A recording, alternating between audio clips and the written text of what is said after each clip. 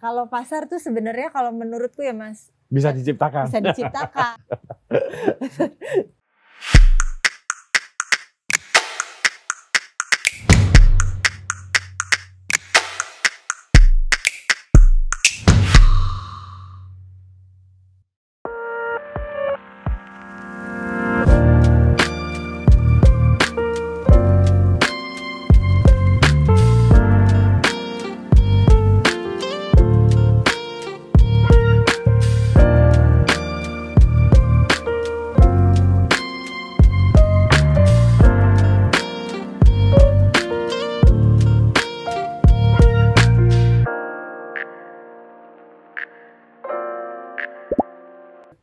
Halo teman-teman, ketemu lagi dengan saya Kepala Suku Mojo dan kami menembus hujan yang sangat deras untuk bisa sampai ke sini.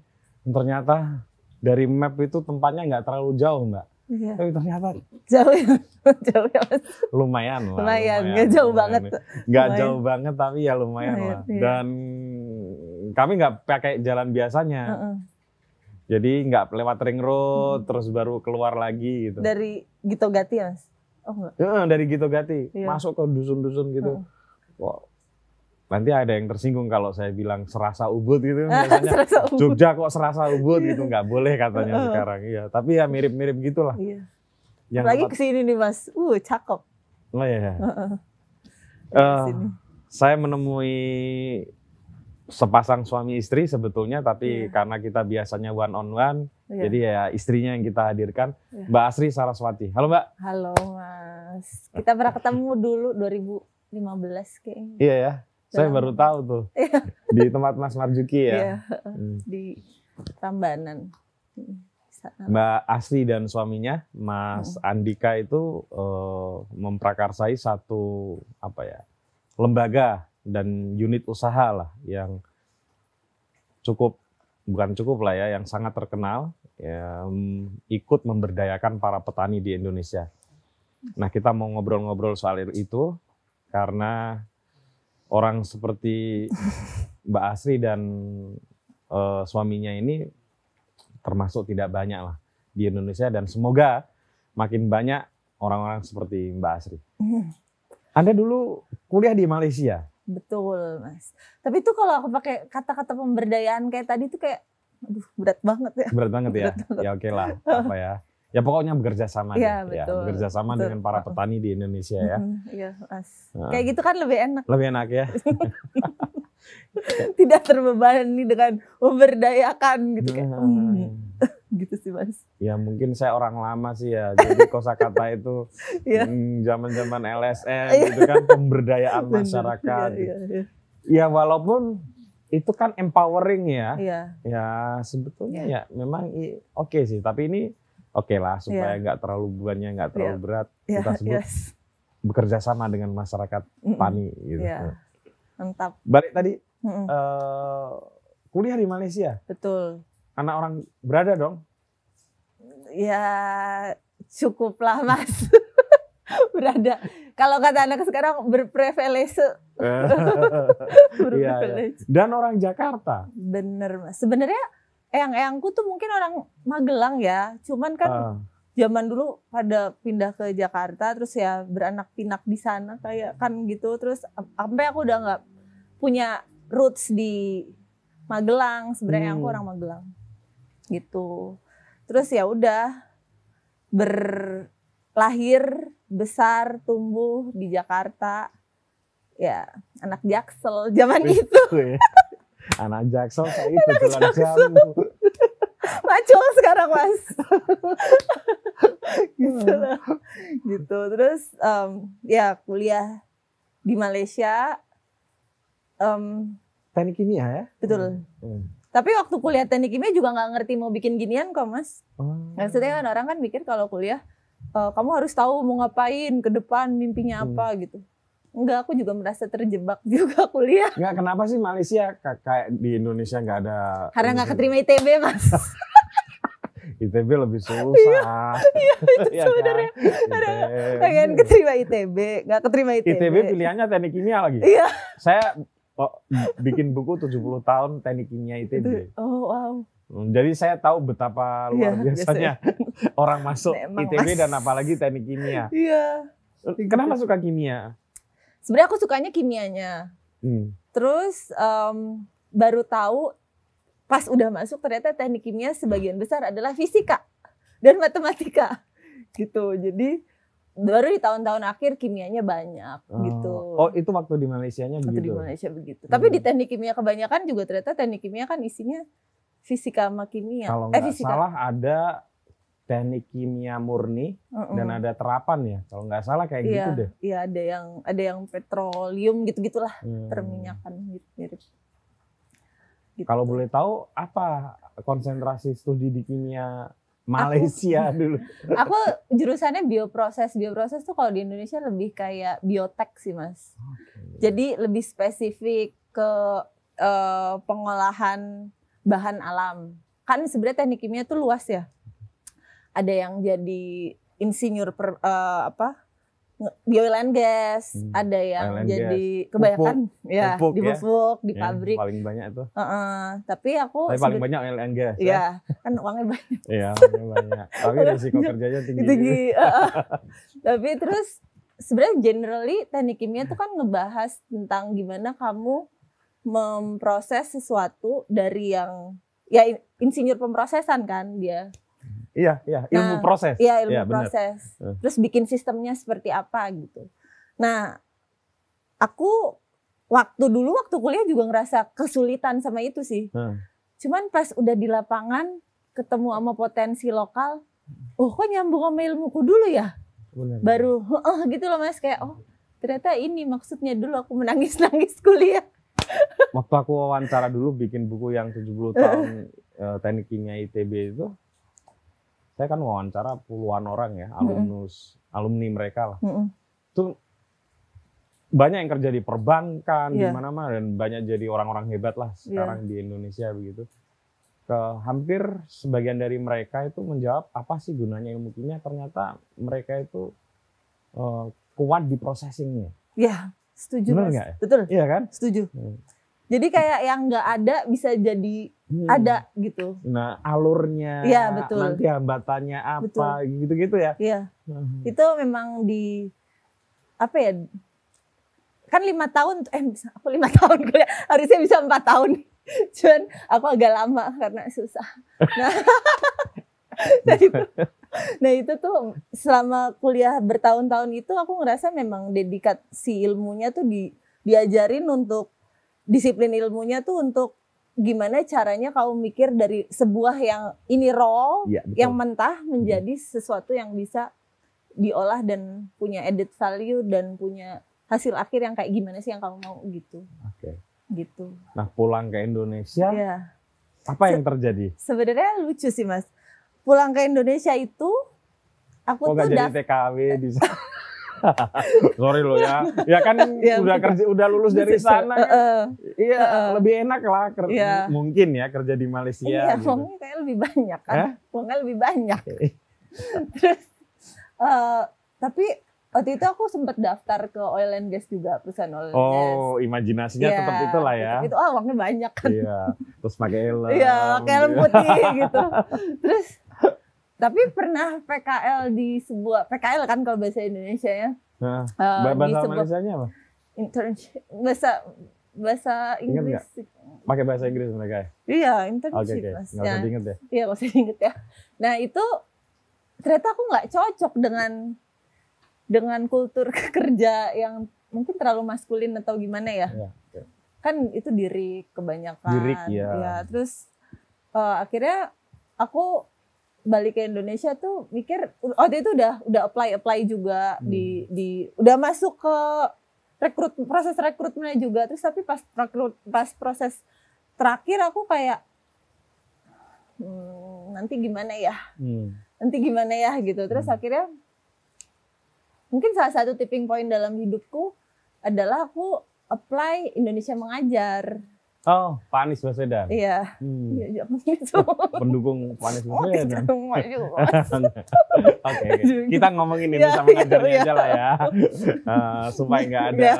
bener bener nggak ada nggak ada ininya ke politik lah gitu. Oke. Nah, pas eh, dulu tuh kan Indonesia mengajar waktu pas aku lulus masih yang baru-baru ya jadi kayak baru setahun pertama Hmm. dan itu juga waktu itu aku ngeliatnya anak-anak Indonesia mengajar wah ini keren-keren banget aku first impressionnya gitu wah ini teman-teman keren-keren banget bahkan banyak yang lulusan-lulusan bagus-bagus juga ikutin program Indonesia mengajar itu, Itu sorry, Indonesia mengajar itu satu tahun atau dua tahun ya? satu tahun mas Satu tahun satu ya. tahun Anda ditugaskan di mana? di Muara Enim Sumatera Selatan Oke. nah itu salah satu tipping point sih mas Hmm. Apa apa yang terjadi di situ? wah gila aku pusing sih ngeliat itu kayak aku ditaruh di sebuah desa yang tempat teman-teman tuh lebih jauh lebih pelosok lebih remote kayak di Maluku yang harus naik kapal Iya, iya. kecil Ah, gitu Saya gitu tahu ada yang ditugaskan di Tua. Iya, ada yang Iya, iya. yang ada yang kayak gitu-gitu. Heeh. Tempatku tuh nggak sebenarnya nggak sulit gitu.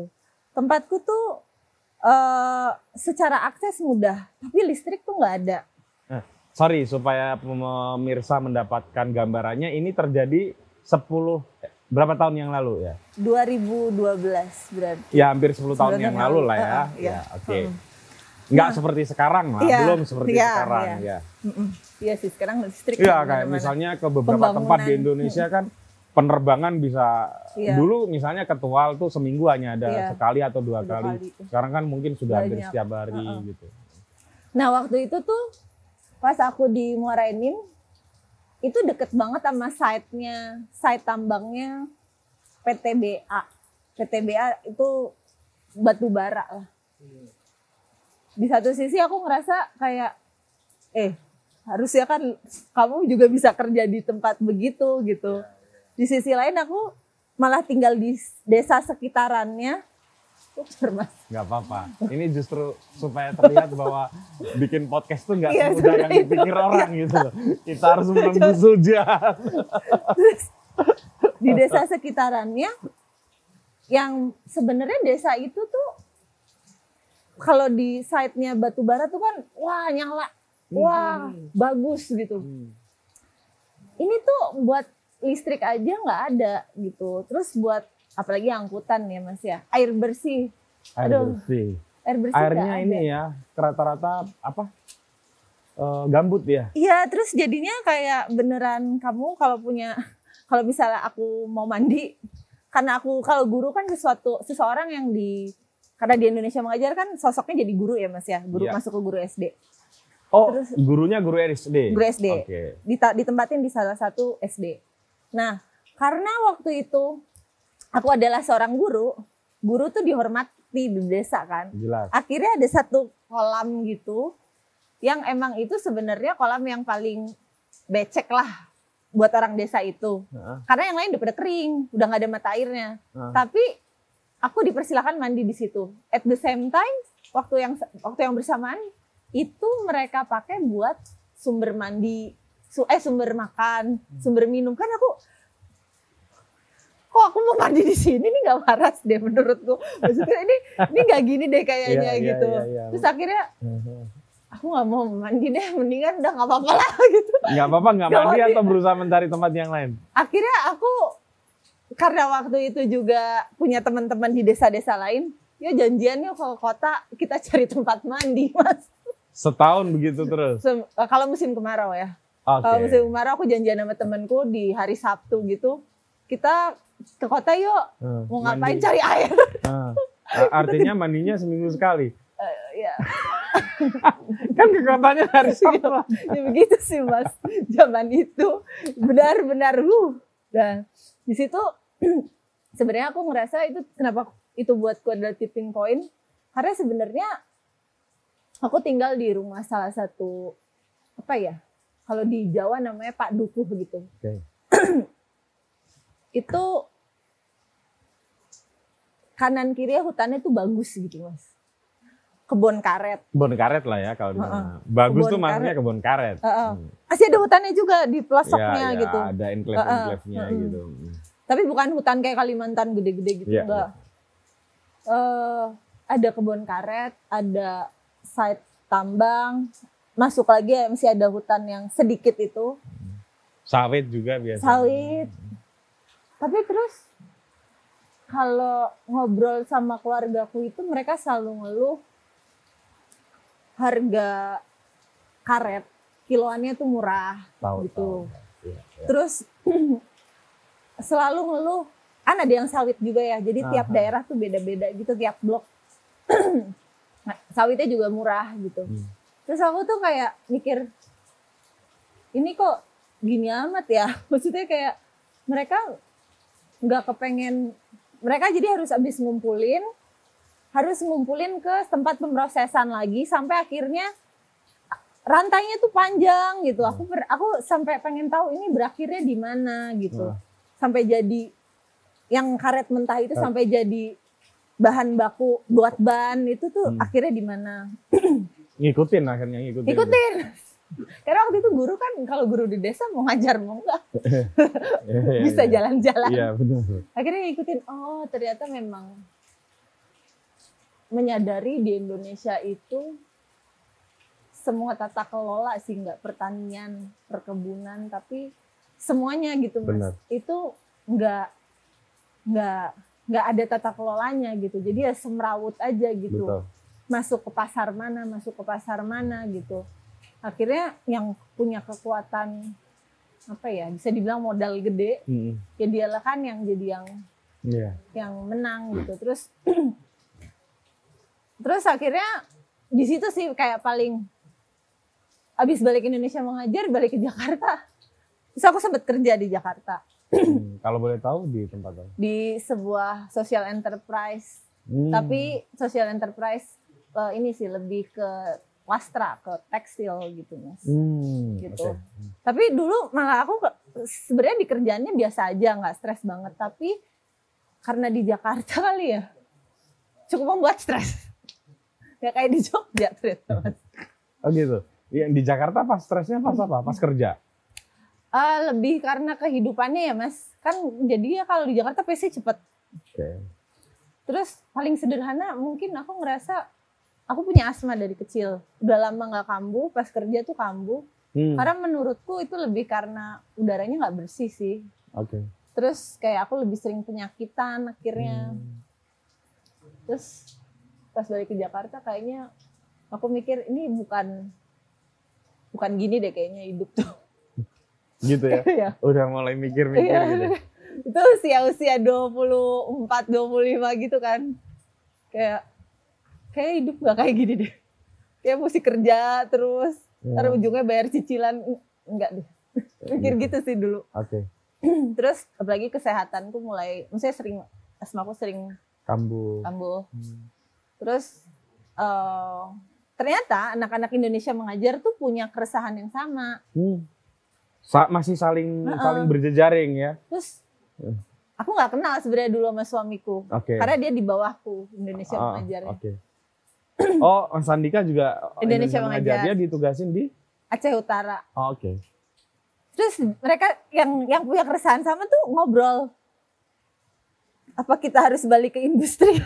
Karena kalau Dika dulu tadi di perusahaan gede gitu mas pabrik Eh, Mas Andika ini teknik mesin ya? mesin Oh, undip ya? undip. Oke. Dia tadinya di Samsung. Hmm. Terus tapi dia bener-bener nggak mau sebenarnya kayak balik, harus balik lagi untuk ke ke korporasi gitu dia udah nggak mau gitu. Terus kayak ada banyak teman-teman yang punya inner voice yang sama gitu. Terus nggak tahu ya mungkin setahun itu cukup bikin kayak eh, mendengar apa yang kita nggak dengar sebelumnya gitu. Hmm. Jadi kayak eh, apa? Kita akhirnya ngumpul waktu itu pas ngumpul itu, yuk kita tercetusnya dari anak anak-anak sih sebenarnya bukan aku. Yuk kita Maksudnya keliling-keliling. teman-teman Ah, teman-teman di teman-teman. Indonesia mengajar Ah. lah ya. Yuk kita ini yuk apa keliling yuk. Kita udah asal aja coba kita ngobrol sama tokoh-tokoh, oh, maksudnya kayak orang-orang yang udah memulai jalan yang dia mauin dalam hidupnya, Oke. tapi dia juga bisa hidup dari situ, Hmm. tapi dia juga bisa ngelakuin sesuatu yang dia yakini gitu. Ya, ya. Karena menurutku waktu itu emang kita bisa hidup ya kayak gitu. kita bisa hidup ya kayak gitu, kayak masih ragu gitu loh. Belum wajar sih ya. Iya. Hmm. Terus akhirnya kita keliling mas di mobil dua bulan Oh. dari Udah udah Jawa. sama Andika juga belum waktu itu Belum. belum kita masih gerombolan gerombolan. Terus ya udah kita Ke mana saja tuh dua bulan? macem-macem mas Yang ada bisa diingat, yang uh, kemudian kita pernah membantu ke ikut Jemba ke Jember Jember. Jember. eh, ke Pak lupakan namanya ke Tanoker Ledo Ombo namanya Apa? itu kayak sebuah yayasan Tanoker Ledo Ombo Oh, yang mainan anak-anak. betul Oke. Kebu Cici Hmm. Kebu Cici itu waktu itu ya aku cukup sih maksudnya mereka eh, punya misi buat buat sekitarnya tapi juga waktu itu pikiranku emang bisa ya kayak gitu ya bukan kita hidup tuh harus kerja kerja kerja kerja dulu ntar Hmm. kayak Anak Yaudah, jaksel gitu lah. ya. emang bisa ya maksudnya Nggak ada kan referensi ya. lah ya. Iya, Iya benar, nggak bisa disalahin juga. masuk ya ke itu kan oh ternyata Bu Cici itu sampai begini gitu terus eh, ke salah satu ke Pais juga di di Hmm, Bumi Langit Bumi langit ya. gitu terus banyak sih eh, di Solo juga ada eh, apa senior lebih aktivis sih Hmm. aktivis gitu terus Kalau boleh tahu di mana? di aduh aku lupa nama bapaknya lagi Hmm. Hmm. Oke deh. Iya. Ya, oke. gitulah mas terus akhirnya aku ber sama Dika tuh berkeliling dari Jawa sampai ke Bali Oh, ini udah mulai berdua nih. Enggak tapi itu masih ramean mas Oh, belum jadian lah ya. Belum. berkeliling Sampai Bali juga. Bali Kalau di Bali sih memang mau mau mau piknik lah ya eh, sekalian. eh, piknik tapi enggak tempat piknik sih mas sebenarnya Ke Bali ke mana? ke Nusa Penida dulu Nusa Penida kan nggak kayak sekarang ya Ah, Nusa Penida tuh eh, karena kebetulan orang tua aku ada kerjaan bikin hmm, apa PLTA Oh, orang Jadi- tua juga engineer juga. engineer tapi kalau orang tua tuh kan lupa cerita orang tua tuh mungkin dia engineer-nya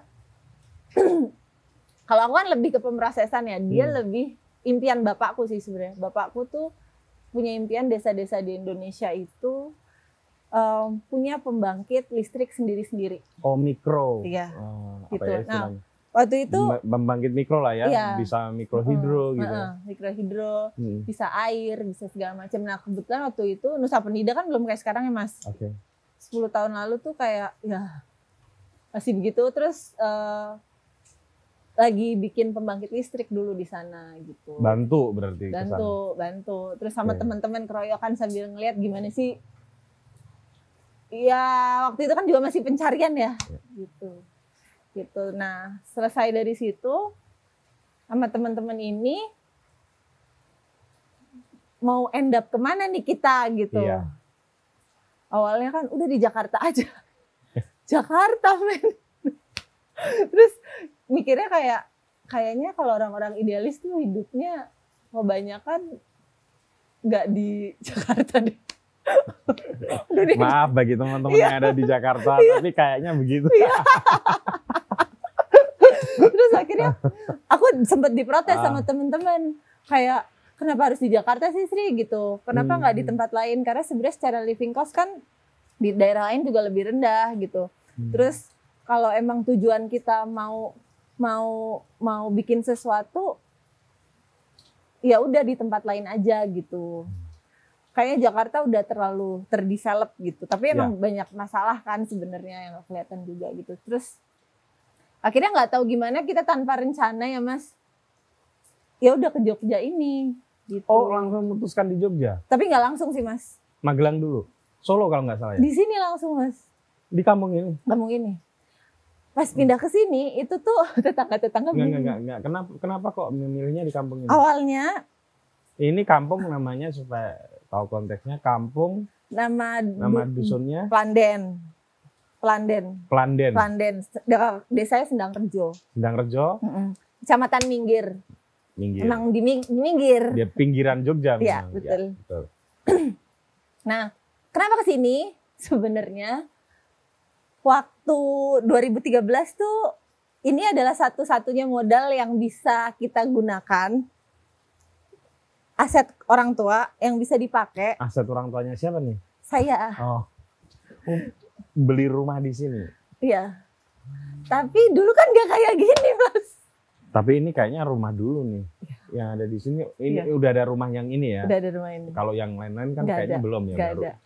Jadi ini dulu tuh rumah di mana orang tuaku sebenarnya ngebantu temennya yang ngejual tapi karena butuh uang. Ya. Gitu. Dan itu udah kosong lama. Hmm. Yang punya yang punya yang lama tuh juga nggak mau nempatin karena cukup hmm, gitu. Oke, oke. Nah, Hmm, Akhirnya- itu nggak nggak bikin kamu takut juga. eh alhamdulillah udah bersahabat mas. Oh, ber- kalau udah bersahabat masih dong. Masih mas. Masih, Mas. nah jadi Ah. tuh pas di sini aku tuh pindah pertama kali eh, tetangga-tetangga tuh agak kaget sih Waktu itu belum nikah ya? Belum. sini? Oke. belum nikah Berarti sendiri. cowoknya tiga cowoknya satu cowoknya tiga ceweknya satu Oke. aku Oh, Terus- berarti kayak coba deh kita ya menetap di sini Uh-uh. lalu apa yang bisa kita kerjakan. eh, Keren juga nih. random aja mas Hmm, hmm. supaya aku takut Mas.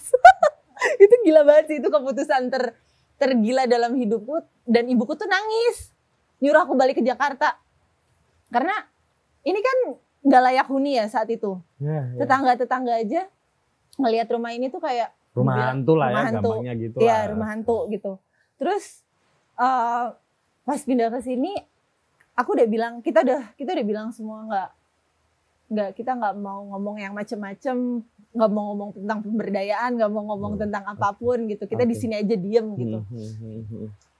terus tapi diomonginnya wah itu anak-anak muda KKN gitu. ngapain di situ ada perempuan satu Oh. nah terus kan biar Oh. izinnya enak salah satu temanku tuh Oh. lapor ke paduku Iya iya iya, karena ada ceweknya. Ada ceweknya. Iya. dan bilangnya aku sama Dika adalah suami istri saat itu. padahal belum. Padahal belum. padahal belum. Oh, Padahal belum. bermula dari apa ya trik lah ya, awalnya gitu. Menyiasati keadaan. Uh, uh, terus uh, setelah itu akhirnya ya tapi kan berlanjut ya ceritanya. Aku sama Oke. Dika berlanjut. Terus ya akhirnya em, kita agak sedikit ngos-ngosan sih mas sebenarnya. Apalagi nggak masuk di logisku ya ketika harus pindah ke rumah yang kayak gini oh ternyata aku jadi belajar gara-gara rumah juga aku jadi belajar banyak hal Apa tuh misalnya? aku kan nggak pernah belajar tentang kultur Jawa itu seperti apa ya. Iyalah orang Jaksel. Terus kayak Kecuali nah, dulu Jaksel tapi kuliahnya di Jogja. Iya. Beda lah atau di Beda Solo gitu. terus aku tuh di sini jadi kayak oh ternyata orang Jawa tuh apa ya mas aku bilangnya ya Eh, beneran niteni sesuatu tuh niteni itu apa? Itu memper, mencermati. Iya, ya. mencermati Hmm. sesuatu tuh detail banget. Hmm.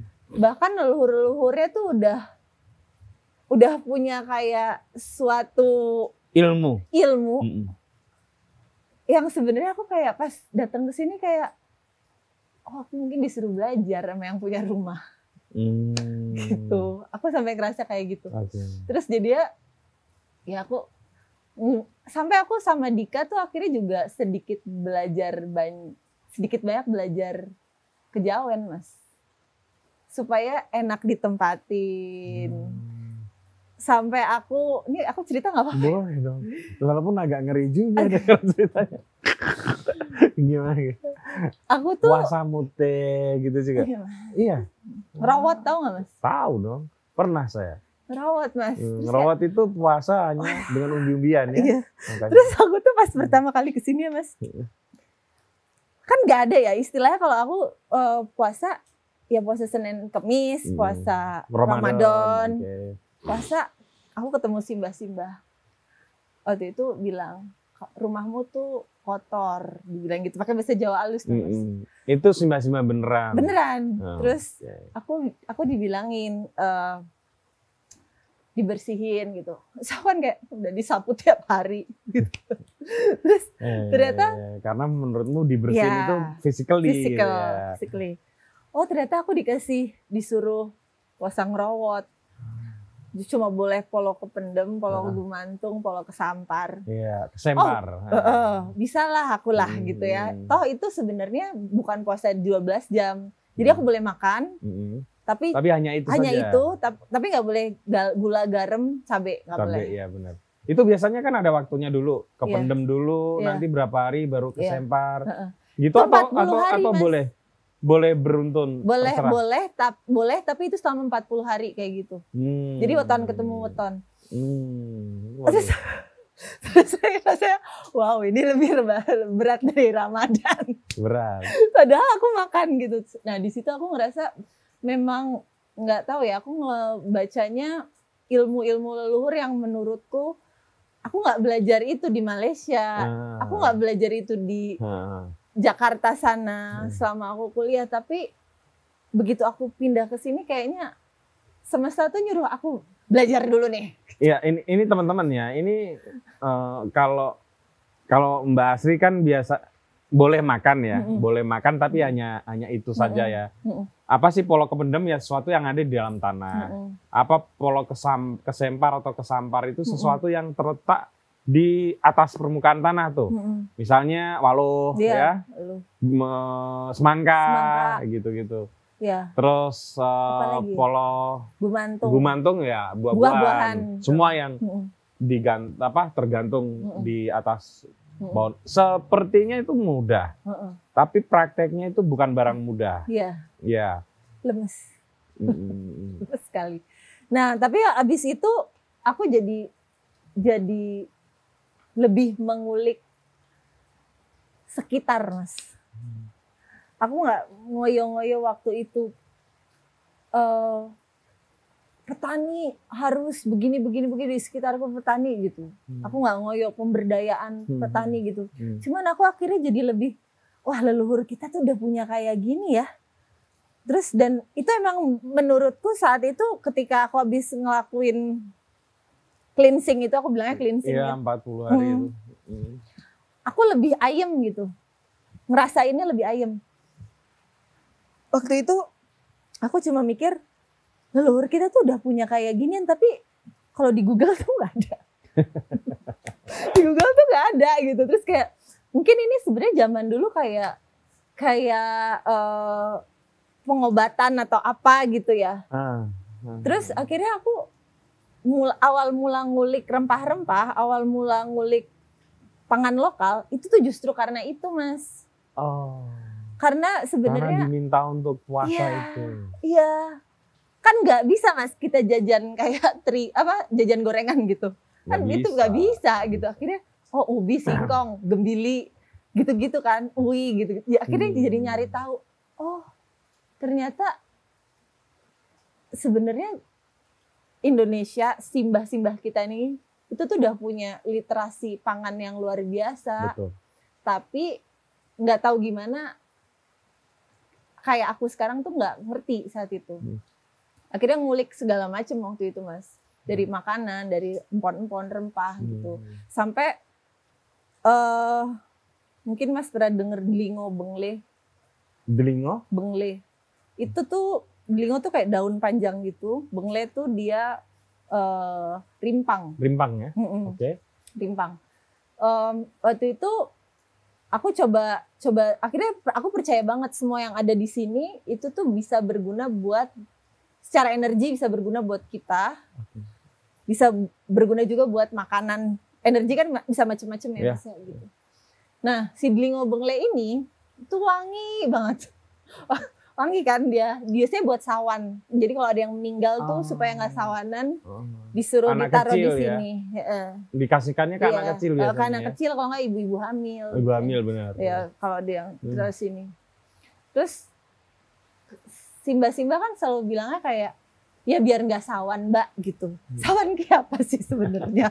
Coba secara secara ini harfiah tuh sa- sawan tuh apa gitu. Hmm. Aku tuh kayak bingung gitu. Terus aku tanya ke si kalau orang-orang sini jawabnya biar nggak kesirep mbak gitu gitulah gitu. Terus akhirnya tapi aku nggak Dika itu kan emang Dika tuh lebih apa ya lebih lebih suka bertemu orang Dika nggak sengaja ketemu orang di internet gitu yang nanya dia orang eh, Belanda minta bengal oil mas Hmm. itu menarik sih awalnya Iya, tuh iya. dari kayak gitu-gitu minta bengal oil bengal oil tuh apa terus aku nggak tahu coba-coba aku googling gitu terus aku googling terus aku cari eh, ilmiahnya kan rumus ilmiahnya Hmm. nama ilmiahnya Ternyata itu. bengle mas Oh, aku nggak tahu loh itu. bengle Ada nggak di sini? di bah- ada. ya? rimpangnya sih ada di Rimpangnya ada. rimpangnya ada Oke. tapi oilnya nggak ada Tapi dia rimpang ya. Dia rimpang. terus eh, akhirnya waktu itu eh itu bengal oil tuh bengle beb dicari loh terus aku kayak emang itu buat apa buat sawan ketemu dia Gitu. buat sawan ketemu dia Hmm. terus nah dia ini dari perusahaan pharmaceutical kan di Ah, Belgia Oke. dia juga cari temulawak zaman dulu kan nggak pandemi ya mas Ya. jadi kayak 7-8 tahun lalu tuh Iya, iya. jamu-jamuan tuh nggak kayak sekarang Hmm, gitu hmm. anak muda nggak mau minum jamu Ya. Nah temulawak tuh di menoreh tuh banyak banget. Dan tukul dewe gitu loh mas. Iya. terus dia minta ekstrak dia minta karena aku anak kimia jadi aku ngerti ya mas. Nah, dia minta santorisolnya sebenarnya. Santorisol adalah Santorisol. adalah bahan kimia bahan aktif yang ada di temulawak dan itu cuma ada di situ gitu. Oke. terus kayak Cara mendapatkannya? Di prosesnya? di ekstrak mas di ekstrak terus diisolasi gitu lah nah Oke, terus yang jelas eh, secara secara teknis bisa Bisa, dikerjakan. bisa gitu. dan itu ada di temulawak Hmm. dan temulawak tuh sak gon-gon di sini Iya, iya, iya. Beb. Nah, terus at the same time kita tuh suka keliling-keliling sini kan Mas ke Menoreh. Pak Dukoy cerita kalau panen, musim panen kayak sekarang, itu tuh zaman itu temulawak bisa 800 perak sekilo. Terus aku mikir kan, ini ini gimana ya gapnya ya jauh bener gitu. Terus Padahal itu harganya ta- tadi mahal ya. Mahal. Mereka mau ngasihnya. Mm-mm, mm-mm. dan mungkin ada randomen sih, ada ada misalnya dari dari basah ke kering berapa, Oh, iya, dari iya, ekstrak iya. berapa gitu. Hmm. Cuman Tetap aja terlalu jauh. Iya terlalu jauh. Terus menurutku kayaknya harusnya eh, barang keluar dari desa tuh memang tidak basah, tidak Oke. raw material Hmm. gitu. Terus akhirnya ngobrol sama Pak Duku, sampai nggak mau dipanen kunyit, hal-hal kayak kunyit, eh temulawak, karena terlalu murah mas saat itu. Hmm. 800 ribu kan kalau 20 kilo aja cuma berapa Betul. gitu. Jaraknya panjang banget tuh ya. Iya, Harganya gitu. Dan banyak rempah iya, di eh bukan rempah, rimpang di Indonesia. iya. Terutama itu kan kebudayaan Jogja, Jawa dan sekitarnya ya, rimpang-rimpang Hmm. itu mengkonsumsi itu. Mbak sebut aja deh supaya teman-teman tahu 10 coba. Kita mau agak tes nih Hmm. si si Geli pendiri. Agradaya nih. Heeh. 10 rimpang di Indonesia yang bisa diproses dengan baik dan berguna gitu. Sepul, eh, jahe, Jahe, kunyit, kunyit, temulawak, temulawak, temu kunci, kunci. temu kunci. Temu Temu. tuh ada banyak mas. Hah? Temu ada banyak. Oh iya, kunci. Terus eh, kencur, kencur, terus bengle, mengle. temu gombyok, kunyit putih, Eh. temu ireng, Hmm. kunyit hitam. Oh, Ada lagi mas sebenarnya. ya, banyak lah ya. Banyak. Enggak ini supaya supaya tahu pemirsa. Ini Iya. enggak sembarangan. Iya. Eh kalau musim penghujan di kampungku itu tumbuh di hutan tuh kunci. Tukul Eh, eh. dewe mas. Ya, itu yang bisa daunnya di sayur enak banget tuh. Mm-mm. Eh, Namanya boros Namanya ya? boros. Boros. Di sini namanya boros juga. Di ibuku manggilnya boros sih, tapi ya di sini juga sih. Boros. Nah, itu di hutan tuh Banyak. enak banget. Iya. Dan Memang, itu Mas. enak banget tuh. di Itu itu bisa di berguna juga ya Bisa, rimpangnya. bisa. Ah. Tapi emang ya gitu kan kadang orang hidup di tempat yang kaya terus kayak kurang bisa mengolah gitu. Ya, kalau di kampungku sana Mm-mm. itu ya untuk di sayur aja Iya. daunnya. Enak sih Mas emang. Enak-enak banget. Apalagi nasinya nasi jagung. Aduh. Mantap. Tadi apa? Tadi Mbak? Ya, sampai ke banyak di Indonesia banyak rimpang. Mm-mm. Eh, apa harganya Mm-mm. terlalu jauh Mm-mm. gitu. Nah terus akhirnya aku R&D sendiri Mas. Kayak Motong-motong. potong-potong, Mm-mm. ku iris, terus sa- sampai ke level yang industri mau. Karena Hmm. pikiranku saat itu kenapa harus industri? Namanya petani kan nggak panen satu kilo dua kilo mas. Betul. Namanya namanya petani tuh kalau panen tontonan kan. Satu kelompok tani bisa berapa kintal gitu Betul. katakan. jadi akhirnya aku coba di dapur waktu itu dapurnya aku sulap jadi kayak lab kecil gitu. Oh, Terus aku aku iris sendiri, aku keringin hmm. sampai itu berhasil ke sesuai standar industri. aku replikasi di petani. Nah, Hmm. Waktu itu pas direplikasi di petani ternyata nggak semudah itu buat produksi buat ngajak petani nanem menghasilkan bisa panen terus bisa Mengolah. keluar ke- ah, Betul. Terutama dalam mengolahnya, waduh, iya kan? betul. Kalau menanam sampai memanen oke lah, iya. Ah, Tapi begitu memprosesnya pasca panen itu problem, Problem. bener-bener kalau itu. itu problem banget. Nah, di waktu yang bersamaan Andika itu sebenarnya apply grant Oke. dari Australia, eh, dari Australia terus didanain untuk bikin rumah pengering. Hmm, Kita jadi kayak greenhouse gitu. Iya ya? kayak gini mas, yang hijau itu. Nah, jadi di tempat-tempat Oh, oke. petani kita bikin rumah pengering Mm-mm. sederhana, jadi bisa masuk situ. Jadi bisa lebih terstandar. Oke, Pada kenyataannya apakah berhasil? Butuh waktu. butuh ternyata. waktu. Dan Apa sih biasanya kendalanya eh, kawan-kawan petani dalam hal pasca panen itu? Waktu atau habit sih mas. ya habit ya? Ini kan habit baru ya, Baru, yang betul. diperkenalkan. Ya, kultur mereka kan memang Iya. budidaya, Heeh, ya, bu- bukan pasca panen. Ya. betul. Heeh. Makanya kalau agradaya, kalau kita ke petani gitu mas, kita nggak pernah nggak pernah eh, bikin sesuatu yang apa ya? Aku bilangnya tuh eh, pendekatannya lebih suka bottom up gitu, nggak top down. Karena kalau top U- udah udah mirip pemberdayaan nih memang. Iya. kita lebih suka kayak ngumpul-ngumpul, Ah, ah. ngumpul-ngumpul aja, terus cerita, terus ngobrol, Hmm. terus ngeteh bareng, Oke. terus ngajarin ngajarinnya jadi nggak kayak training atau pelatihan atau sosialisasi. Iya, iya. Kayak bertetangga Iya, lah ya. Bener mas. Iya, iya. Nah itu lebih masuk mas. Hmm. Dan aku memperhatikan kalau yang ibu-ibu yang udah sepuh, yang udah di sawah, di ladang, di hutan, udah nggak usah diminta buat mengolah lagi. Yang mengolah lagi itu yang lebih muda-muda. kenapa begitu? Karena mereka udah padet banget mas jadwalnya Bener di. Bener, jadwalnya di hutan tuh udah padet. bener. kan kalau aku belajar dari kebudayaan di nggak tahu kebudayaan Jawa atau di Nusantara ya mas Hmm. Eh, pertanian itu kan deket banget sama yang namanya kehidupan dan kebudayaan ya Iya.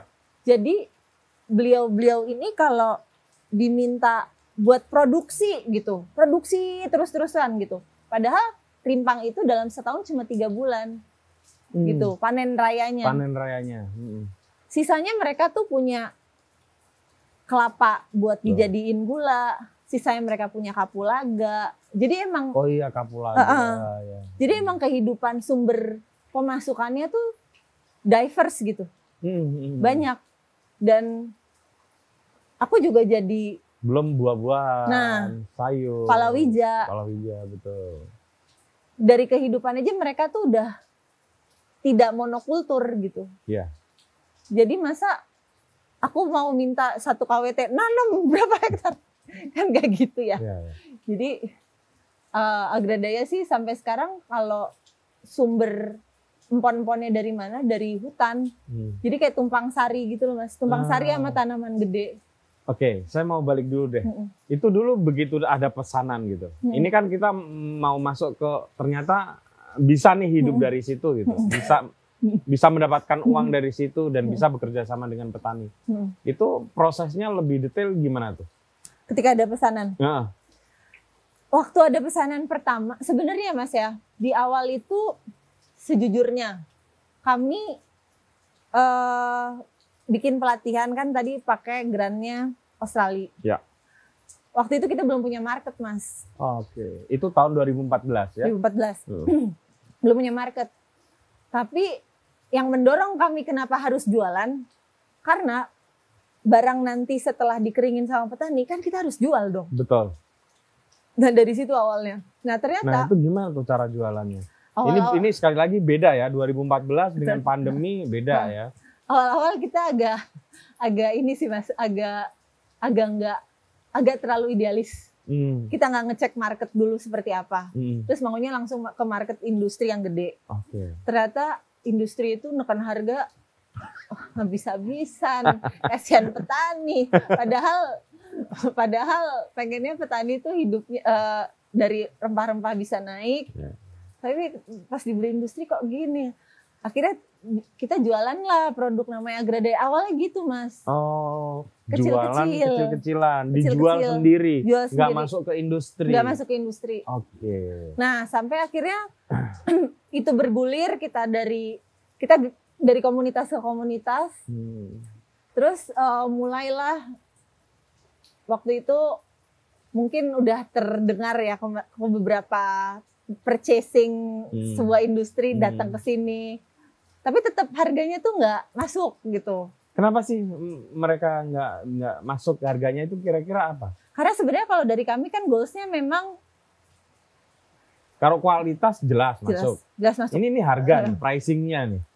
Hmm. Karena gini mas, kalau menurutku ya bahan baku yang buat industri sama bahan baku yang dihasilin petani kecil itu tuh em, memang beda jalur mas. Iya, iya. iya. Plantationnya kadang Iya, beda. beda. ya. Mereka, Mereka- pakai betul, ratusan Mas. atau ribuan hektar, hmm, jadi lebih ekonomis Iya, gitu kalau ya. mereka kayak industri gede ini harusnya punya petani yang masif, Betul. masif. Ya mungkin chemicals dia nggak peduli segala macam. Kalau yang petani Hmm. kecil ini kan masih peduli banget pronotomongso mereka peduli. Betul. Dan mereka bukan hanya menanam itu. Betul. Iya, iya. Mereka kan juga nggak bisa dipu- dipush 7 ton sebulan gitu mas. Iya. Iya. Petani-petani mitra agradaya nggak bisa di- dipush kayak gitu. Ah, gitu. ah, ah. Dan Oke. akhirnya kami sendiri memilih eh, mau bisnis yang seperti apa sih gitu. Hmm. Akhirnya jualin sendiri. Jelas sendiri. Kan susah itu. Susah awalnya mas. Tapi begitu udah kebuka tuh kayak lebih lebih gampang Hmm. sih. A- apa yang membuat it- itu terbuka? Ini jualannya ini jualan bukan barang mudah loh. Iya benar. sih. Jualan jamu. Sebenarnya dari komunitas ke komunitas ya mas Oke, awalnya. oke. Dari komunitas ke komunitas terus sekarang dan aku nggak kok jahat ya kalau bersyukur sama pandemi ya. Tapi memang pandemi pada akhirnya itu naikin omset kita berkali-kali lipat. Kalau boleh tahu berapa kali lipat? 300 Hah? tiga 300 persen, tiga kali lipat. Ya, ya, wow. 300 persen naik sih. gitu mas. Terus jadi ada mitra baru mitra baru gitu. Tapi sekarang juga masuk ke industri nggak? Eh, seka- kalau industri yang skala besar sih be- besar banget kayak truk-trukan tontonan gitu sih enggak sih mas. Enggak. Enggak. Tapi kalau keluar negeri buat buat kebutuhan chef berapa berapa jumlah agak besar gitu. Kalau kiloan lebih sih mas. Itu Wih. keluar negeri. Kuintal dong, ya atau ton? Ton enggak ton enggak. Ton kita belum kuat sih mas.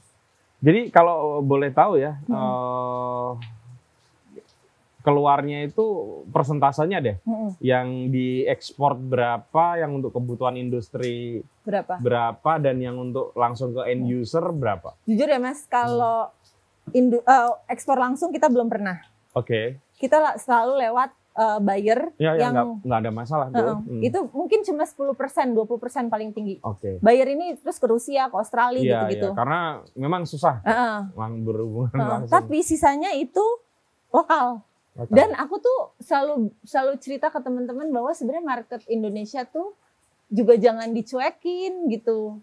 Karena menurutku Indonesia tuh berpotensi sekali dan punya kesadaran sekarang tuh punya kesadaran akan gaya hidup sehat, Setuju. lokalitas itu lebih naik gitu. Heeh. Jadi ya paling tinggi ke luar negeri itu 10 sampai 20 persen mas. Oke. Sisanya Hmm. dalam negeri semua. Nah, terus eh, tadi itu Hmm. jenisnya makin banyak itu gimana tuh? Awalnya kan hanya apa itu tadi namanya? Kunyit jahe temulawak. Enggak enggak yang yang tadi yang diminta si Glingo orang bengle. ya? Glingo bengle. Dinglo. Heeh. Awalnya kan itu. Nah, terus nanti eh, terus Oh, sama temulawak kan temulawak, dua ya. temulawak awalnya. Nah, terus kemudian berubah menjadi ada kunyit, Hmm, ada temu-temuan yang lain gitu. Itu Kar- gimana tuh? Karena ngulik sih mas, karena Oh, kalau- jadi bukan kebutuhan pasar dulu? Enggak. Oh. Agra Agreda itu agak idealis sebenarnya aku ny- ag- Ah. agak nyebelin sih. Karena kalau kalau kalau orang bisnis banget pasti kan dia maunya ngelihat kebutuhan pasar kan. Iya. Tapi kalau aku ngulik akhirnya kenapa sih harus harus waktu itu kenapa kan temulawak temulawak karena banyak di sana. Hmm. Terus kunyit juga. Hmm. Nah, pas ngulik jahe itu tuh sebenarnya karena wah ternyata orang Indonesia juga punya tanaman jahe, selain punya jahe eh, permintaannya juga lumayan ada gitu. Hmm. Nah, waktu itu tapi kok permintaan temulawak ini nggak tinggi ya? Karena kan rasanya getir banget mas temulawak. Iya, iya, iya. Eh, Terus Ngomong-ngomong temulawak tuh gunanya untuk apa sih? dia banyak dipakai kalau misalnya Kalau nggak salah untuk membersihkan imunitas. hati ya? Iya, heeh. Bener nggak Iya sih? betul, betul. Imunitas. Tapi aku nggak boleh klaim mas. Kalau sama Bepom kan nggak boleh.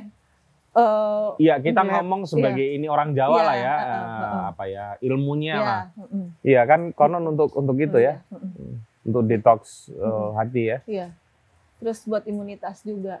Hmm. Nah, waktu pas temulawak itu kita ngedevelop produk karena kebanyakan di petani punyanya temulawak, jahe nggak ada, jahe sedikit, kunyit sedikit, akhirnya kita ngedevelop teh temulawak, Mas. Jadi temulawak dibikin teh celup gitu. Dibikin teh tubruk, tapi dicampur kunyit sama jahe dikit. Oke. Dulu tuh nggak ada yang suka, Mas. Jebret pandemi. Wow. Langsung semua orang nyari itu. itu itu menarik sih. Maksudnya pas pandemi tuh aku ngerasa memang orang Indonesia tuh eh, belinya tuh harus di eh, waktu itu ada yang ada yang ngeluarin kalau nggak salah UNER apa mana gitu penelitian tentang jahe kunyit temulawak kalau Hmm. diminum tuh meningkatkan imunitas. Imunitas. Aku tuh bingung ini kenapa HP admin tangtung tangtung terus minta orderan. Oh ternyata ada berita Ah. bahwa meningkatkan imunitas menggunakan jahe kunyit temulawak. Ya, Dan terima semuanya kasih lah buat Iya. lembaga yang eh, tapi sebelum pandemi ya, sebelum pandemi nih kita ngomong. Sebetulnya sudah mulai growth tuh Agrada ya. udah udah growth. Udah Hmm. udah kita sudah growing tapi memang tidak setinggi sekarang, Mas. Aku akuin Hmm. pandemi semakin permintaannya semakin tinggi sih. Kalau boleh tahu ya, Hmm. sekarang bekerja sama dengan berapa petani? Berapa petani yang di Jogja aja Hmm. itu 100 aku tuh nggak update Mas, tapi terakhir 150 150. Itu ada di Kulon Progo. Kulon Progo. Semuanya Kulon Progo, Mas. Oh, nggak ada yang di Gunung Kidul. Gunung Kidul nggak Gunung Kidul ada tapi dia bentuknya bukan petani, dia adalah kelompok ibu-ibu aja gitu. Oke, kalau yang di kelompok ibu-ibu di Gunung Kidul itu apa? Empon-empon juga. pon-pon, tapi dia eh, bukan kan kalau di Gunung Kidul nggak nggak punya apa ya? Nggak punya hutan kayak di Menoreh ya. Jadi Iya, kita betul. budidayanya di mana? Di polybag polybag gitu. Hmm. Gitu. Tapi di desa juga. Kalau nggak salah sampai Trenggalek. Trenggalek betul. Dan Eh, itu kerjasamanya sama BUMDes sih. Kok bisa tahun berapa? Kok bisa sampai kerjasama di Trenggalek? Itu kita jalan itu 2019, 2018 sudah mulai jalan. Tapi Trenggalek itu memang pusat empon-empon. Wah, itu satu kabupaten, Mas. Jadi gini, saya kan dulu eh, pernah ada satu proyek saya mau supervisi penelitian tentang cengkeh. Mm-mm. Salah satu yang diambil itu eh, untuk jadi apa ya? Sampel Mm-mm. penelitiannya itu di Trenggalek. Mm-mm. Jadi petani cengkeh di Mm-mm. Trenggalek gitu. Mm-mm. Nah, waktu saya baca apa hasil kajian lapangannya itu mereka ternyata bisa mendapat manfaat dari empon-empon. Kan Mm. saya kaget. Mm-mm. Gila tuh Trenggalek itu ternyata Iya banyak banget. mas, banyak Hmm. banget. Daerah situ memang, wow, sekabupaten kayak masih tumpon-pon semua. iya ya. Mm-mm. Dan bagus memang. Eh Bagus. sorry, empon-empon tuh dari sisi budidayanya ya, Mm-mm. saya nggak ngomong ke processingnya. Mm. Ada yang berkualitas dan nggak nggak sih? Ada, Misalnya eh, kalau cengkeh nih, Mm. cengkeh di Jawa dengan di Bali Utara tuh beda. Beda, uh. Bagus di Bali Mm. Utara dari eh, apa? Dari jumlah panennya Mm. sampai ke kualitas buah apa bunganya Mm. gitu. Kalau di empon-empon ada gitu juga nggak? Ada mas, jadi kalau kita berdasarkan musim mas biasanya. Oh, bukan daerah ya? Daerah juga Oh. ada Misalnya bahan aktif yang lebih banyak. Kalau Trenggalek itu jahenya gitu. Iya, iya itu jahenya. Bagus gitu. Iya, itu jahenya Ada ya kayak gitu. Hmm, lebih Jadi- pedes dia gitu. Ya, jadi daerah-daerah kayak Trenggalek itu mas, eh, Trenggalek, Tulungagung itu pernah kita tesin beda bahan aktif. Kalau di kunyit kurkumin konten itu lebih Kurkumin. tinggi Ah, ah. gitu. Sama kalau musim mas, kalau musim hujan panen pon-pon itu pasti bahan aktifnya dan airnya lebih banyak. Eh, bahan aktif- aktifnya lebih dikit, airnya Oh lebih ya, banyak. ya, karena Mm-mm. air ya kalau Mm-mm. itu. Mm. Hmm. Kalau daerah Trenggalek, Jawa Timur situ emang emang apa? punya kalau ditesin di lab itu bahan aktifnya bagus banget sih daripada Hmm. daerah-daerah lainnya gitu. Hmm, hmm, hmm. gitu. Eh, kalau ngomongin empon-empon sekarang ini Hmm. kerjasama dengan para petani itu, Mm-mm. eh, mereka kemudian menganggap itu sebagai apa sih gitu? Ada ada ada bukan hanya kalau uang sih oke Hmm. mereka pasti dapat, tapi apa yang mereka dapat selain uang gitu? Dengan kerjasama sama Iya, Agradaya. dengan Agradaya itu. Jujur ya Mas, Agradaya itu kami nggak mau menganggap kelompok tani itu jadi objek produksi aja. Kita tuh nggak mau gitu. Hmm, Justru kami pengennya selain supply ke kita, si ibu-ibu hmm, juga bisa jualan, mengcreate, mengcreate produknya yang ada di sekitarnya, hmm, buat jualan langsung ke desa wisata sekitar. Jadi kita juga Hmm. nge- ngajarin ngeracik Hmm. sebenarnya, gitu. Nah, kita juga nggak mau sebenarnya gara-gara pandemi, aku pernah punya kerisauan sama suamiku. Ordernya tuh tinggi banget mas, hmm. bahan baku nggak cukup. Akankah ya, ibu-ibu sampai kayak gitu ya. Ini jahe kan semakin mahal banget. Iya, Hmm. eh. terus saat itu aku sempat mikir kayak gini mas, Eh, apa harus monokultur ya, bikin penanaman di mana gitu Hmm. kunyit. Terus apa bedanya kita sama sinar mas dong? Pintar diedit aja mas kalau nggak boleh ya. Terus eh, apa beda kita sama sinar mas dong? Hmm. Kalau kayak gitu. Tapi kan nggak mungkin dapat dari yang tumpang sari begini gitu. Betul. Akhirnya yang kita batasin apa mas? Apa? Pembelinya. Aneh nih. Jadi pernah satu momen Agradaya cuma boleh yang ngebeli cuma boleh dua pouch, satu satu satu apa satu varian, nggak boleh lebih dari itu. Oke. Karena jahenya belum panen di petani, gitu. Nah itu yang kita nggak mau eh, petani nganggep eh, mitra petani kita tuh nganggep kita tuh cuma pengen uangnya aja gitu, pengen cuma pengen produksinya aja gitu Hmm. kita pengen mereka juga memahami kita tuh menghargai kultur mereka yang juga nderes kelapa, juga bikin minyak kelapa. Hidup bukan hanya Iya, untuk itu itu saja gitu Betul. kan. Bukan hanya untuk umpan Betul. umpan-umpan saja. Betul. gitu. Ya. Jadi makanya kenapa ini aku jadi ke mana-mana ngomongnya. Kenapa apa-apa. Agradaya akhirnya juga punya juga Murakabi. berpartner Hmm. sama warung Murakabi karena kalau Agradaya tuh kan segi produksi udah masif gitu mas. Masif maksudnya kita udah terkait sama BPOM, harus punya izin-izin izin-izin yang banyak dan Hmm. itu terikat sama eh, peraturan obat tradisional. Hmm. Sedangkan kalau aku lihat di desa itu bukan cuma jadi obat tradisional, bahan makanan itu bahan-bahan komoditas itu bisa jadi obat tradisional, bisa jadi makanan, Benar. bisa jadi olahan pangan, Hmm. dan itu harusnya warung gitu. Ah. Nah, Oke. jadilah warung Murakabi gitu Iya, salah iya, satunya. Kenapa? Kalau tadi itu kan kalau eh, apa permintaan tinggi. Heeh. Nah, kalau supply-nya tinggi pernah nggak? Sampai wah ini mau dikemana ini produknya? Pernah sih mas. Nah, Kayak itu gitu. gimana tuh cara cara mengan- mengatasinya kalau kayak gitu? Waktu itu kebetulan juga kita tuh selalu kalau misalnya dalam kondisi kayak gitu pasti ada eh, kan kita juga ada B2B ya, kita nggak retail doang. Oh, oke. Ya. Kita nggak retail doang. Nah, Hmm. itu biasanya kita langsung lempar ke B2B sih. Hmm. Gitu. Kayak sekarang tuh sebenarnya jahe merah Mas lagi banyak banget. Hmm.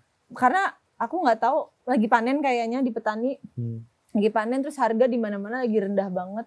Terus aku baru dikabarin tadi pagi jahe merah murah banget nih Mbak gitu. Hmm. Kayaknya akan ada gelondongan jahe merah datang. Cuman kalau kalau kayak gini biasanya kita langsung lempar ke B2B sih. Nah, kalau kayak gitu yang terjadi gimana ya? Ini Jaya Merah, Mm-mm. seluruh Indonesia murah. Mm-mm. Agradaya belinya tetap murah atau Enggak tetap mas. mahal? Kita punya kita memit, makanya banyak yang nanya mau jual produk ke Agradaya bisa nggak gitu. Mau, mau supply produk ke Agradaya bisa nggak? Hmm. Kita petani-petani yang udah bermitra tuh biasanya udah punya apa ya bonding sama kita gitu mas. Mhm. Kita latih dulu, Iya. kita maintain relasinya sejak lama gitu. Ah, Harganya itu sebenarnya memang musyawarah antara kelompok tani sama kita gitu. Oke, oke. Jadi nggak akan ikut harga pasar yang Nah, sehingga Begitu- tidak sembarang petani juga bisa Betul, menjual ke Agradaya betul. dan Agradaya. betul. Tapi nanti Agradaya ketika mau menjual kan bersaing dengan or- pihak yang menyerap Jaya Merah di harga yang murah, Iya. sehingga mereka akan bisa memberi harga Mm-mm. lebih murah dari. Agradaya. Itu gimana tuh? Tapi kita juga punya buyer yang bisa mengapresiasi kualitas kita, Mas. Oh, Oke, oke, Gitu. oke. Kuncinya sih itu, Mas. Itu ya. Heeh. Iya. Jadi iya, kayak itu iya, rantai iya. yang rantai yang emang di petani udah bisa ngelok kualitas begini, Hmm. sama kitanya juga udah punya punya apa ya? Punya punya ikatan gitu yang Hmm. yang emang udah udah terbentuk sekian lama sama bayarnya juga gitu. Bahkan kalau bayar-bayar kita tuh pada akhirnya kita ajak ke tempat petani juga Hmm. biar ngeliat Oke. langsung. Oke Mbak Sri, Eh, apa tahapan selanjutnya yang Anda bayangkan dari Agradaya ini? Eh, Atau impian deh? impian kalau impianku bersama suami sebenarnya Mas ya Heeh. di Indonesia tuh setiap desa punya sistem pengolahan sendiri. Oh. Kan sekarang nggak ada Mas. Hmm. Semua se- semua Padahal sebetulnya duit desa cukup ya, cukup, cukup tapi nggak tahu kenapa tuh karena dibuat teknologinya teknologi yang Iya. tidak tidak terlalu rumit, rumit, ya. heeh. Hmm. Bayanganku tuh semua satu desa. Sebentar, Hmm, persoalannya mungkin bukan di situ. knowledge ya. Apa selanjutnya setelah bisa diolah? Dijualnya ke mana? Mm-mm. Mungkin itu problemnya. Mungkin juga Mas. Tapi Hmm. kalau aku lihat sebenarnya di Indonesia sendiri eh contoh ya Mas, kayak si pon-pon. Hmm. Pon-pon ini kalau udah udah dipanen, nanti itu dia misalnya basah. Untuk dikeringin ke suatu tempat itu nggak di desa itu. Harus dibawa ke eh, misalnya kalau di sekitar sini tuh di Surakarta gitu. Iya. Di Surakarta itu ada pengeringan pon-pon gede. Surakarta ini maksudnya Surakarta Solo. Solo. Oke. Terus ntar di sana juga ada ekstraktor gede atau malah Iya. ekstraktornya ke Jakarta, ke Jababeka. Mestinya menurut Anda di setiap desa Betul. ada. Betul. Gitu. Jadi nanti Betul. sudah dijual Mm-mm. dalam bentuk yang Iya. sudah terekstrak Ekstrak. gitu, sehingga harganya lebih lebih Dan tinggi. UMKM UMKM kan sekarang kan kalau menurutku ngambil ekstrak-ekstrak dari industri gede semua ya. Oke. Harusnya bisa dari yang kecil-kecil ini mas gitu. Oh, tapi banyak. Tapi Banyak. biasanya industri nggak mau ribet. Ya betul Iya kan? mas. Ya Kita Gitu. pokoknya pengennya sama kamu, kamulah yang Iya. ribet gitu. Kamu Iya. yang nyariin gitu. betul.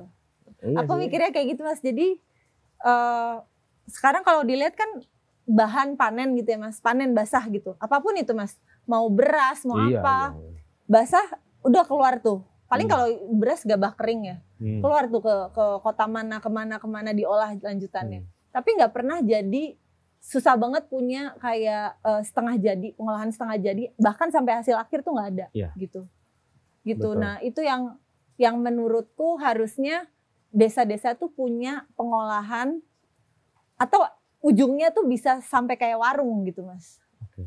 warung yang yang punya added value yang tinggi gitu Hmm. karena kalau warung kan dia bisa lebih diverse ya. Kalau Ya. pengolahan kan nggak bisa nyampurin antara eh, kosmetik, bahan baku kosmetik, Ah. bahan baku makan, bahan baku obat kan nggak bisa. Ya. Tapi kalau war- warung kan bisa gitu. Oke. Gitu. Berapa pekerja sekarang? Di Sekarang kalau? Agradaya 15. Hmm. Kalau yang eh, apa? Setiap hari bersamaku Hmm. gitu 15 gitu di Wow. sini. Eh, ini terakhir nih, Mbak Hmm. Sri ya, Mm-mm. karena wah bentar lagi maghrib. Mm-mm. Untuk teman-teman yang pengen mengikuti jejak Mbak Asri gitu, yang pengen tinggal damai di desa dan me- bukan memberdayakan, tapi Heeh. bekerja sama dengan Heeh. para petani. Heeh. Hmm, apa yang bisa dikasih pesan Apa ke ya? teman-teman? sebenarnya kayaknya kalau anak muda sekarang tuh sibuk keluar sih mas sibuk cari ilmunya tuh eh ya karena itu gampang kali ya di Google kan bisa dapet gitu Hmm. coba cari yang di dalam gitu di kebudayaan dalam tuh lokal di desa Iya, sendiri heeh. gitu. ya, ngobrol di sama simbah-simbah gitu. Oke, simbah-simbah itu jangan salah loh. Itu sumber ilmu pengetahuan. iya betul mas Hmm. setuju Hmm. aku Makanya dulu ada pepatah lama dari Afrika, Hmm. kalau satu orang tua sepuh meninggal dunia itu sama dengan satu perpustakaan terbakar. iya Karena Iya. di situlah kumpulan ilmu pengetahuan. iya Nah kalau itu tidak didistribusikan, iya itu yang tadi itu akhirnya Mm-mm. harus lama banget untuk memproses mencari iya lagi ilmunya gitu. Mm-mm. itu sih kayak ngobrol sama simbah-simbah terus eh, ya ulik yang ada di sekitar karena simbah-simbah nih menurutku lebih tahu Iya. daripada kita gitu terus coba baru deh coba dengan ilmu ilmu yang kita punya kita mixing gitu jadi kayak bisa ketemunya di mana sih gitu Kalau soal pasar gimana? Nyari pasar gitu. Nyari Biasanya kan problemnya salah satunya yang paling gede itu. dari pasar Ya. nah kalau pasar tuh sebenarnya kalau menurutku ya mas Bisa diciptakan. bisa diciptakan itu bener tuh. bisa diciptakan Bener, dan bener efek rumah kaca ya. Iya. bisa bisa diciptakan tapi aku nggak bohong juga sih bahwa eh maksudnya aku tidak memungkiri bahwa eh, kebutuhan kan kalau orang bisnis kan kan tapi kamu harus jualan gitu kamu Hmm. harus mencari pasar sebanyak banyaknya gitu Hmm. cuman aku tuh percaya eh, kalau kita punya produk yang bagus kita punya niat yang bagus cerita yang bagus Iya, iya. itu pasar tuh pasti ngikut sih. Kadang cerita bagus tapi produknya nggak bagus, orang nggak ada repeat order nanti. Oke. Gitu. Sip. Mbak Asri, sudah satu jam lebih. Iya. Terima kasih Iya, banyak. iya, Dan bagi teman-teman, kalau mau mendukung Agradaya bisa beli empon-empon atau hasil ini Iya. di situs webnya atau di marketplace. Iya bisa. Semua ada ya Iya di Instagram Agradaya. di lewat Instagram Agradaya. Terus kalau mau beli bahan-bahan pangan juga bisa di Warung Murakabi. Murakabi. Warung Murakabi. Ini sebetulnya kayak resto gitu. Ini toko Atau kelontong toko mas. kelontong Toko ya. kelontong. Konsepnya toko kelontong. Kalau mau beli bahan makanan yang sehat. Tapi nggak ada terigu di situ karena ada terigu nggak bisa tumbuh di Indonesia. Ya kan? Terus nggak ada terigu, nggak ada apa lagi, nggak ada yang berbahan sawit juga Iya. nggak ada. Nah. Jadi semuanya lokal yang ada di sekitar minggir. dan semoga sebentar lagi Mm. udah bisa bikin tepung sukun nggak sih? itu Tepung menarik sukun. tuh kayaknya. Ada sih sukun. di ada ada di ada mas sebenarnya. Murakabi udah bisa. Nggak kita yang produksi ada ibu-ibu kelompok tadi. Oh oke, Mm-mm. oke. Kayaknya itu keren loh. Iya, tepung sukun. Buat bubur bayi mas biasanya itu. Ah, ah, ah, tapi kan itu dikonsumsi untuk orang yang overweight juga bagus Iya, tuh. iya. Kayaknya ya. Supaya ada alternatif energi eh, apa? Karbo lah. ya. Iya betul mas. Makasih Mbak Sri. Siap mas. Sukses selalu. Nuhun juga Iya. sudah. Oke teman-teman, begitu karena hari menjelang maghrib dan semoga kita dapat banyak manfaat lah dari obrolan ini. Sekali lagi terima kasih Mbak Asri dan sampai ketemu lagi teman-teman.